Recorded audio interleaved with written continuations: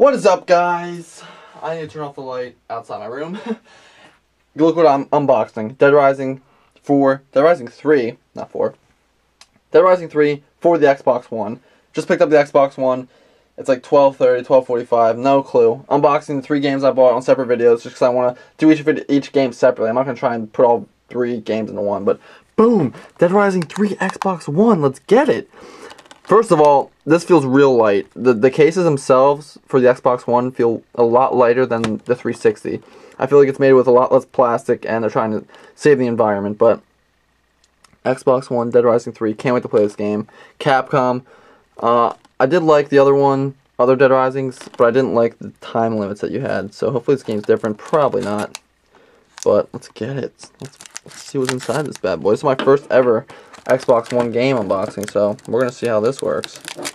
How these look inside and stuff like that. But yeah, right away you can tell that that the, that the whole entire that the whole entire game itself is definitely lighter. Put that in the trash. Okay. Xbox One. Bang. So, alright. One big difference is the game's on the left side instead of the right. Dead Rising 3, you get a three-day Xbox Live Gold trial, which is cool. And you got a little code on the back for that. that's it, dude. Like, what? So that's that's all you get. You get the the code and no manual, I guess. I guess they're fading out manuals. But uh you get this. Let's pop that bad boy out.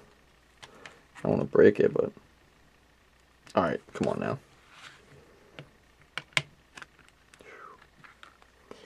Dead Rising 3, Capcom. Normal disc, whoop. I don't know what else there really is, nothing. So that's it for the unboxing of Dead Rising 3 for the Xbox One. Nothing too special, nothing in this thing besides a free gold trial. So if you're expecting a manual, get ready to be upset. That's it guys, thanks for watching. Two more games to come.